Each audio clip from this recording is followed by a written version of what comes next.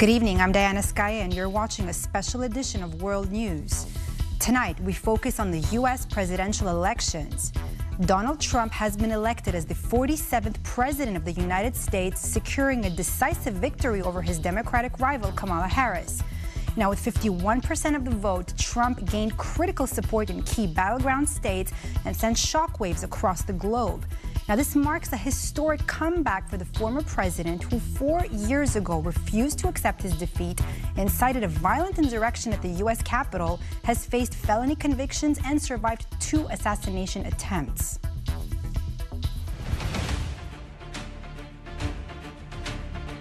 So I want to thank the American people for the extraordinary honor of being elected your 47th president and your 45th president.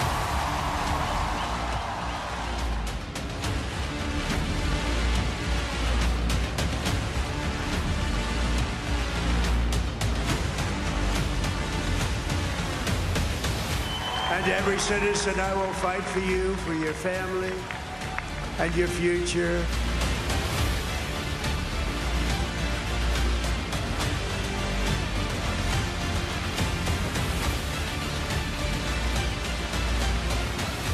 This will truly be the golden age of America. That's what we have to have.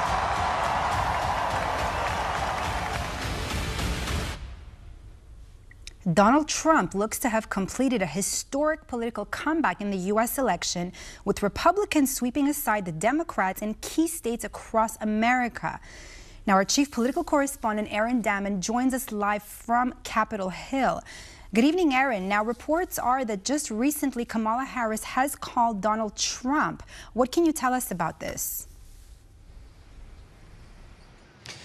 Good evening, Diana. Yes, as we go to air tonight, confirmation that Kamala Harris has conceded the election to Donald Trump. I repeat, Kamala Harris has conceded the US election of 2024 to Donald Trump. Now, citing a senior aide, CNN reports that Harris, quote, discussed the importance of a peaceful transfer of power and being a president for all Americans. Now, a person familiar with uh, the president and her campaign tells CNN the call only lasted a few minutes. In just over two hours, she will finally appear at her alma mater, Howard University, right here in Washington, to give a formal concession speech in front of her supporters and addressing the nation. Exactly what shape that concession speech will look like, well, we will wait and see. But as I mentioned, Donald Trump is now president-elect because Kamala Harris has conceded this election. That's right, Aaron. But this isn't the only uh, the only uh, significant result from election night. Now, what can we tell? Uh, what can you tell us about um, the results of the Senate and the House? That's right. As you mentioned earlier, I'm here in front of Capitol Hill and the battle for Congress continues. This will determine just how much influence Donald Trump actually has in the White House and it's looking good for him. The Senate has flipped red, it has flipped Republican, and Republicans also hold a lead in the House. This means that there could be very little or even no checks on Donald Trump's power once he ascends to the presidency and who he surrounds himself with here will be critical. And Europe, of course, will be looking to the Secretary of State position. We're seeing talk around the likes of former US Ambassador to Germany, Rick Grenell, Senator Marco Rubio, or even former National Security Advisor Robert O'Brien. All of those people could take that role, and others, of course, are in the mix too. Whoever takes up the Secretary of State position will have a crucial role in selling American foreign policy. For any formal appointments, we'll have to wait some time yet. Well, Donald Trump's cabinet is clearly shaping up. Thank you so much, Aaron Damon, reporting to us live from Capitol Hill. We'll be coming back to you throughout the day. Now, after the election results, European leaders are preparing for Donald Trump's presidency. Now, fearing that Washington would cut off its support for Ukraine, force Europe to invest more in its own defense, or dictate harsh trading conditions for the bloc, EU leaders are entering realpolitik mode in which the old continent will have to build new bridges to the U.S. Pavel Chaskovsky has more. With the winner of US presidential elections emerging in the early Wednesday hours of European time zones, congratulations started to flood in from virtually all leaders on the continent. Emmanuel Macron was the first head of state of a major US ally to congratulate Trump on his re-election. Congratulations, President Donald Trump. Ready to work together as we did for four years. With your convictions and mine. With respect and ambition. For more peace and prosperity.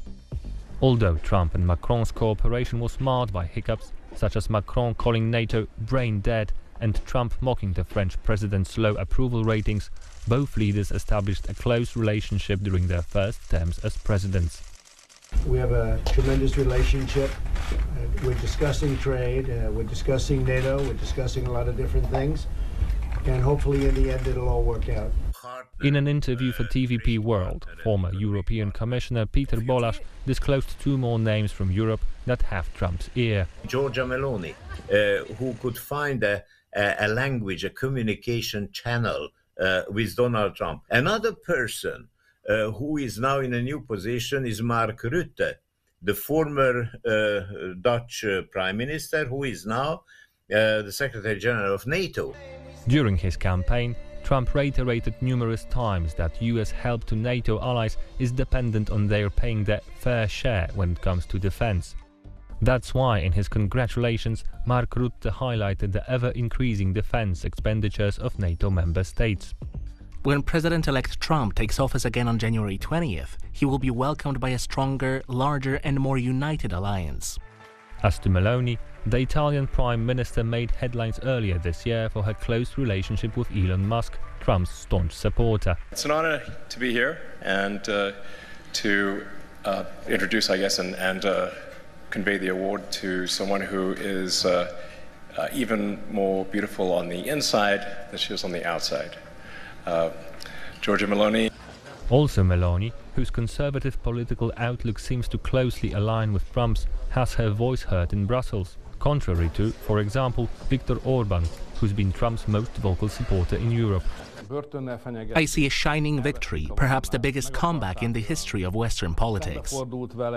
But Orban, who, according to some experts, is a political pariah in the EU with growing dependence on Russian and Chinese business, might not be a valuable partner for the new US president. But knowing that Mr. Uh, Trump is also very transactional in approach, I wonder if Mr. Orban can have anything else to offer uh, on the European turf. However, Trump has even received an invitation from Orban to the European policy meeting held in Budapest on Thursday. It's highly unlikely that he will attend, even online, but Europe will undoubtedly wait for Trump's first gestures toward the old continent. Donald Trump's reclaiming of the White House may pose some challenges for the transatlantic relationship. Our European Affairs correspondent Sasha Farbach has this next report. Now, Brussels realized that there will be a new resident in the White House. It'll be Donald Trump. Now, not just by a short margin, but by a large number, growing support across the board in the United States. So that means a lot. And of course, that relationship between the United States and Europe matters. That's everything from trade policy, also to defense, for NATO, on looking at how the war will continue in Ukraine, what kind of membership potentially might now be on the cards or not at all. So security has become one of the main issues that when we spoke to different policymakers here, and it was clear that there was potentially some concerns, but also pragmatism. Let's take a listen. Well, the first reaction is a surprise of the magnitude of the win. I know some people have, may have predicted that. It wasn't by reading mainstream media, by uh, listening to um, the main polls, it was not on the cards. The future uh, looks like uh, unpredictable, um, but we need to wait. Uh, we need to cooperate uh, very quickly with the new administration, I mean Poland and, and Europe as well. We need to continue this cooperation. And with that, of course, what matters here as well is the European Commission, that executive arm of Europe, and also matters what Nestle. But rather than uh, frustration, uh, it was very much seen as um, a partnership that could work on the right circumstances. And let's listen now to what one of the Commission representatives had to say to us. There is a transatlantic bond between the European Union and the United States keeping us together, and um, we really uh, are ready to work on very serious, strong transatlantic agenda in the years to come. So overall, with what's happened in the United States, perhaps not to great fanfare in Brussels and European institutions, but there is a willingness here, no matter if that's defense policy, if that's trade or technology looking into the future, there is very much a stoic pragmatism here that's apparent from across different political grounds moving forward and building on something that can work between the United States and the European Union and Europe as a whole. That's Sascha Farbach for TVP World in Brussels. Europe needs to take more responsibility for its safety. Now, this is the main message coming from Polish government officials after Republican candidate Donald Trump won the U.S. presidential election. Concerns over the course of the war in Ukraine are more present than ever. Our Kazimierz Wysiak reports from Warsaw. Here in Poland, you can truly feel the weight on the shoulders of government officials after the US presidential election. The wind of history blows ever stronger. Poland's leadership will rise to the challenge. Poland will be taking over the presidency and the Council of the European Union starting in January 2025. About the same time, Donald Trump will be sworn in as 47th President of the United States. Polish Foreign Minister Radosław Sikorski has no doubts that the old continent will need to step up.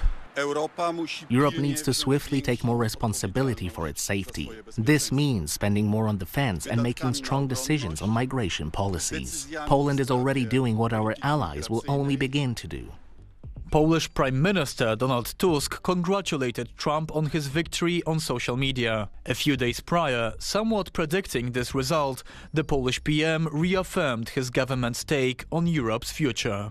Some claim that the future of Europe depends on the American elections, while it depends first and foremost on us, on condition Europe finally grows up and believes in its own strength. Whatever the outcome, the era of geopolitical outsourcing is over.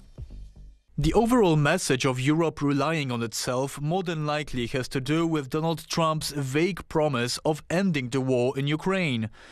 While he seems very confident, before I even arrive at the Oval Office, I will have the disastrous war between Russia and Ukraine settled. It will be settled quickly. Quickly. It's still not clear what his plan on ending the war exactly is, in case he intends to cut the US's robust funding for Kiev, which he hinted at during his pre-election speeches. European countries need to be ready for any scenario, hence Poland's plan to spend close to 5% of GDP on defense in 2025. What we can do is invest in our security. Poland is doing more than just meeting the threshold. We're a leader when it comes to defense spending in NATO. While the final votes are still being counted, it's clear that the Americans are heavily divided. Both candidates oscillate around 50%, with Trump barely crossing that mark so far. In Poland, the conservative opposition is celebrating his victory. Polish President Andrzej Duda, hailing from the right-wing Law and Justice Party, was one of the first world leaders to congratulate the Republican candidate. He is also Donald Trump's longtime friend. Congratulations, Mr. President Donald Trump. You made it happen. Members of the ruling center-liberal coalition are not nearly as thrilled as the conservative parties. I'll be frank, I wouldn't vote for him. First of all, Kamala is a woman, and secondly, her views are closer to mine. But we respect the Americans' choice. Former Polish President Lech Wałęsa has gone even further and spared no harsh words for the US president-elect.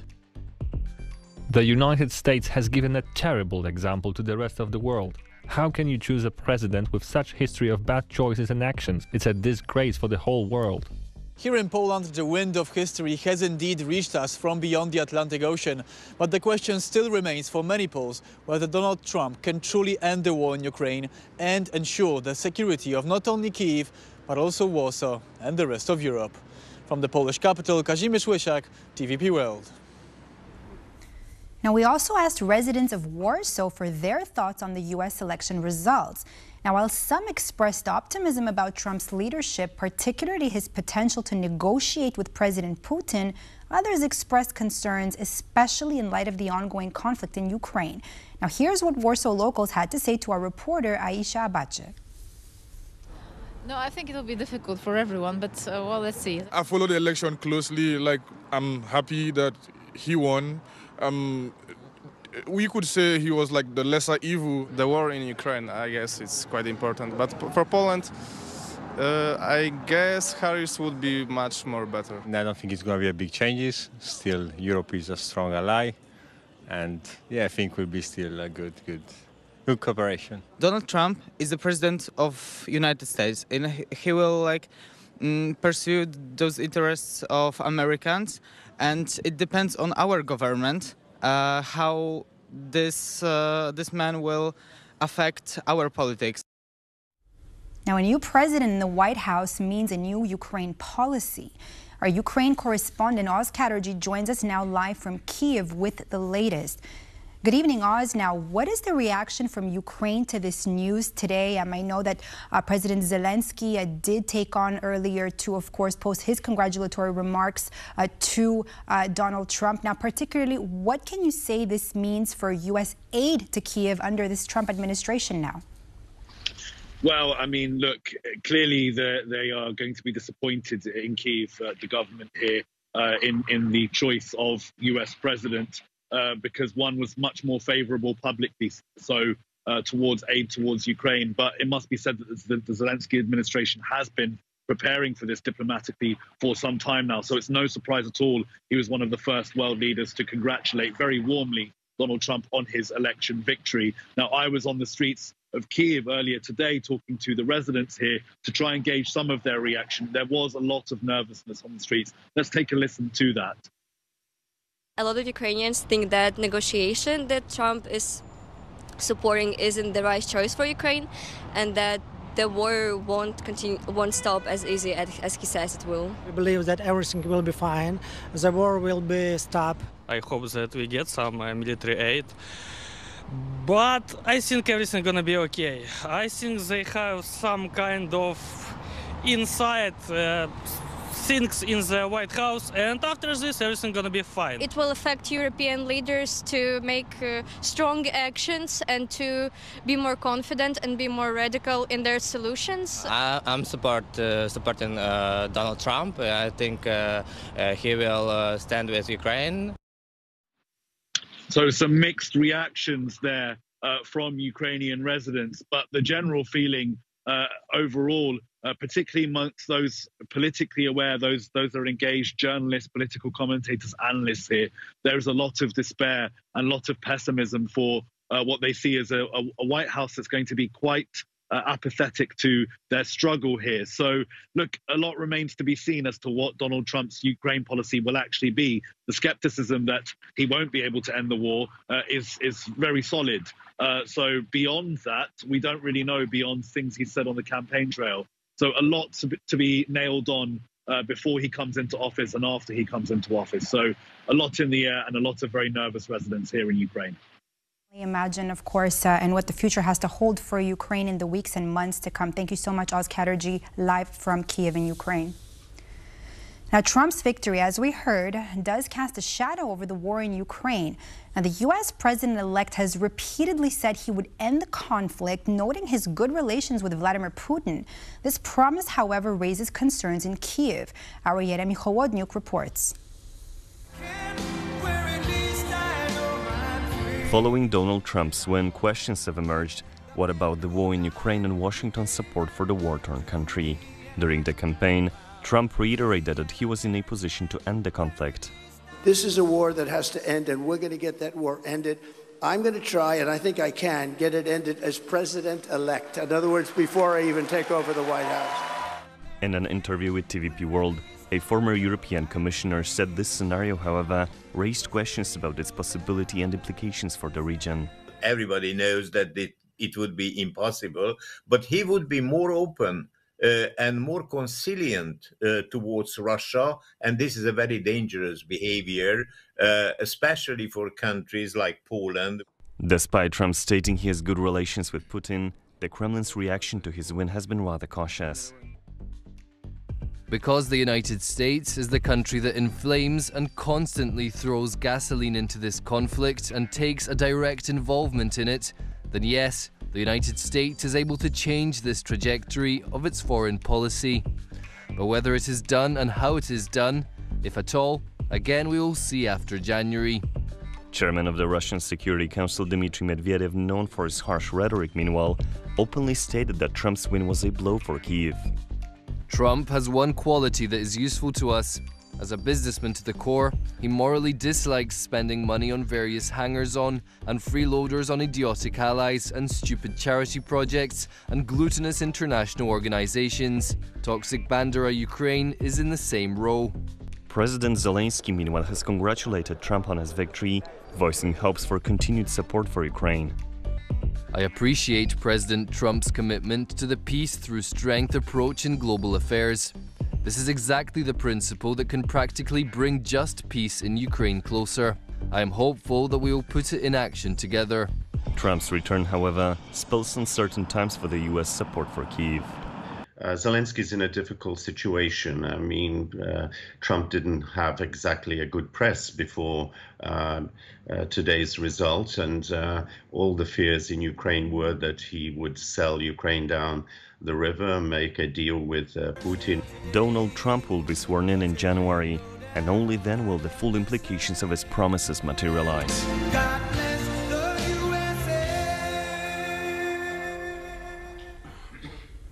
Donald Trump is back as President of the United States, and his return has the world watching closely.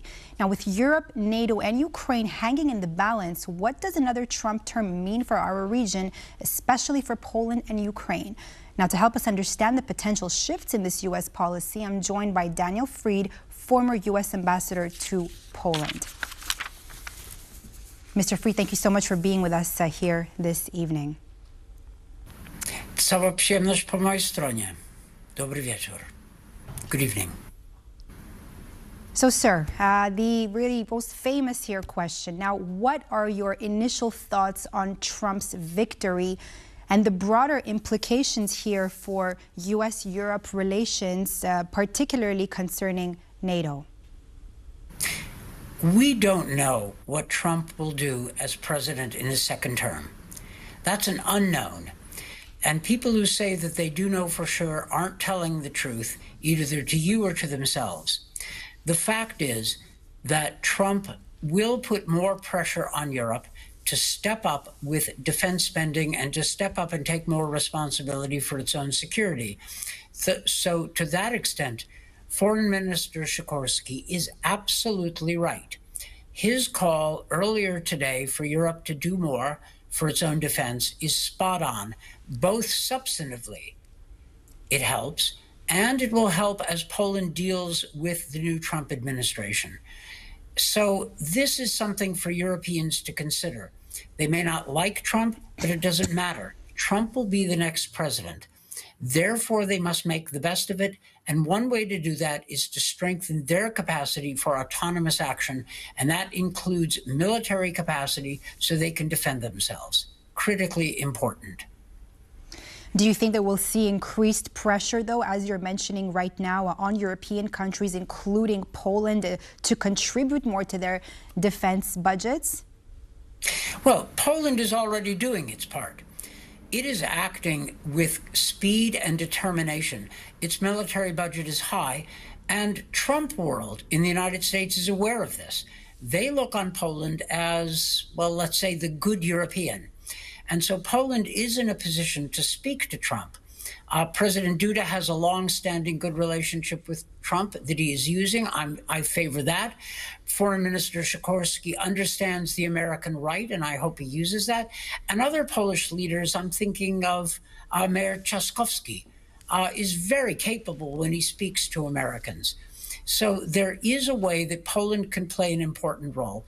And its message to Trump could be something like, well, we are actually doing a lot to shoulder our share of the defense burden. And here is why helping Ukraine is helping all of us. So I think that would be Poland's message. And I think it's a good message. Poland does have some ability to get to Trump, and I hope it uses it. Mr. Former Ambassador, now, do you think that Trump's victory now means that the U.S. will withdraw support from Ukraine? Not necessarily. Trump has said that occasionally, but his last meeting with President Zelensky was reasonably good. Trump likes to make deals. He likes to put pressure on the person he's speaking to to get a better deal.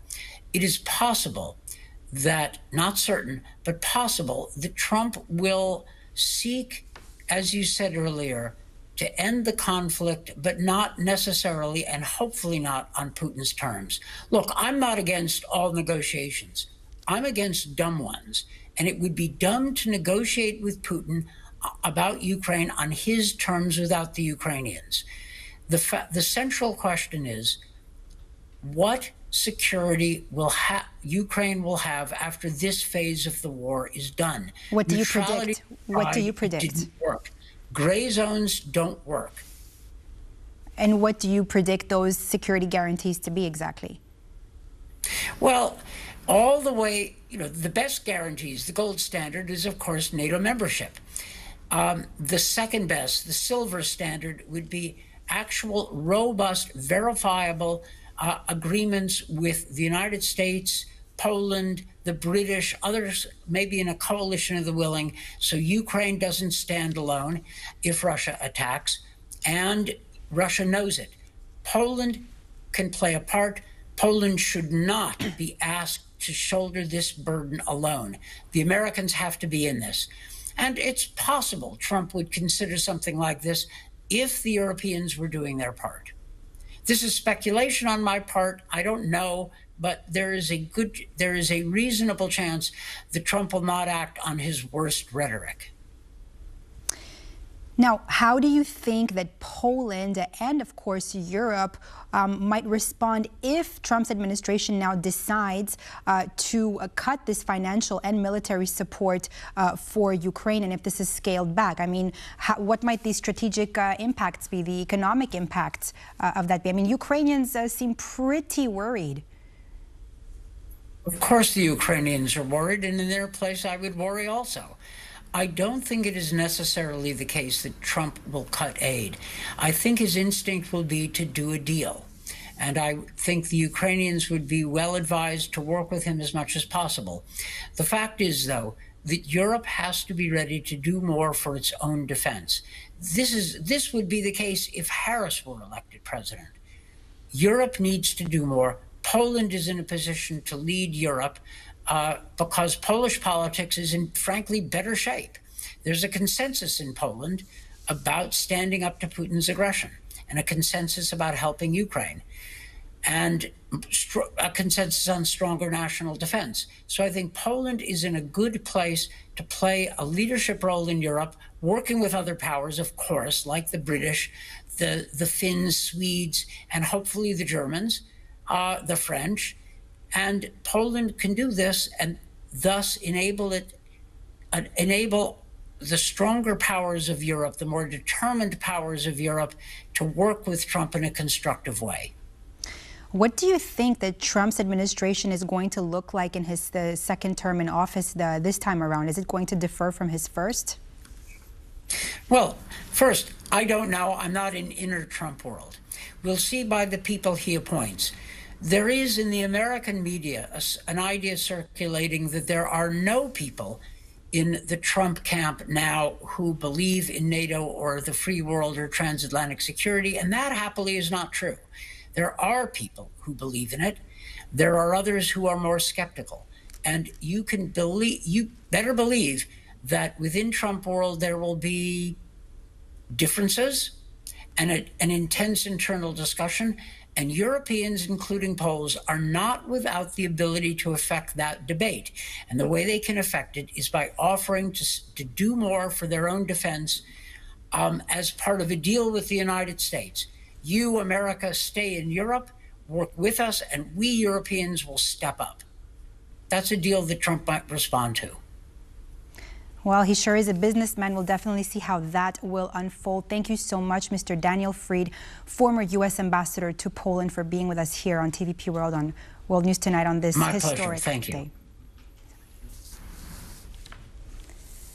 And this completes uh, this special edition of World News Tonight here on TVP World. Stay with us as we continue to cover the U.S. presidential elections. I'm Diana Skaya. Have a good night.